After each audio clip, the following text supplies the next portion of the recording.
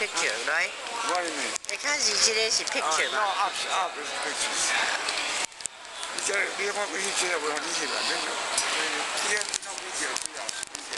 What are your video?